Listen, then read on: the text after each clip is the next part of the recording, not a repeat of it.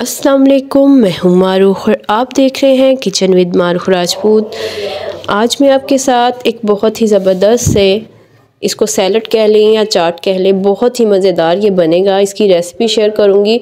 इतने आसान और कम इंग्रेडिएंट से आप इतना ज़बरदस्त सैलड भी बना सकते हैं, ये चाट भी कह सकते हैं। इसको बहुत ही ज़बरदस्त ये बनेगा कि आपको बहुत ही ये पसंद आएगा। चने तो वैसे भी जब आप डाइटिंग करते हैं, उसमें ये बहुत ही ज़्यादा अहम होते हैं। चलें, स्टार्ट करते हैं।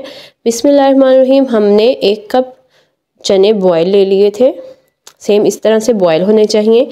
अब इसका हम एक सॉस रेडी कर लेंगे। दो चम्मच खाने के हमने इमली का पल्प ले लिया है। इसमें थोड़ा सा पानी ऐड किया था। आप चाहें तो इसमें शुगर भी ऐड कर सकते हैं अगर आप डाइटिंग नहीं कर रहे। इसमें आधी चाय का चम्मच कुटी हुई लाल मिर्च, आधी चाय का चम्मच ज़ीरा कुटा हुआ। आप साबुत भी डाल सकते हैं जैसे आपको अच्छा लगे। चाट मसाला पाउडर, आधी चाय का चम्मच और इसमें अब नमक डालेंगे हज़ी ज़रूरत, और इसको हम अच्छे से मिक्स कर लेंगे। अगर आप थोड़ा सा इसमें स्वीट चाहते हैं तो आप अगर डाइटिंग कर रहे हैं, थोड़ा सा इसमें हनी ऐड कर लें। अगर आप डाइटिंग नहीं कर रहे हैं तो इसमें शुगर ऐड कर लें। ब्राउन शुगर भी इसमें आप ऐड कर सकते हैं। बहुत ही ज़बरदस्त इसका फ्लेवर आएगा। खट्टा मीठा सा ये हो जाएगा। अब हमने वो चने ले लेने हैं। उसमें थोड़े से सैलड ऐड करेंगे। आप चाहें तो कोई भी वेजिटेबल्स में ऐड कर सकते हैं।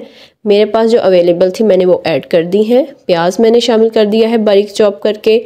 अब इसमें हरा धनिया ऐड करेंगे। बहुत ही खूबसूरत भी लगता है और इसका टेस्ट भी अच्छा आता है।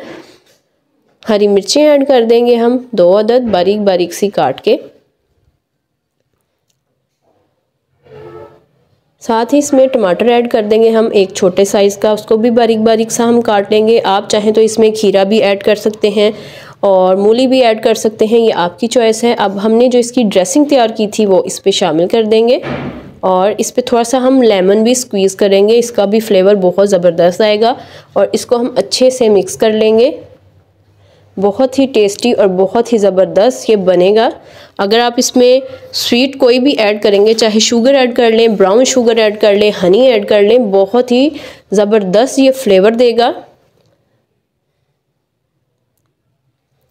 इसको अच्छे से हम मिक्स कर लेंगे और देखें कितना ये मज़ेदार लग रहा है। अगर आप प्याज और डालना चाहते हैं तो आप इसमें डाल सकते हैं।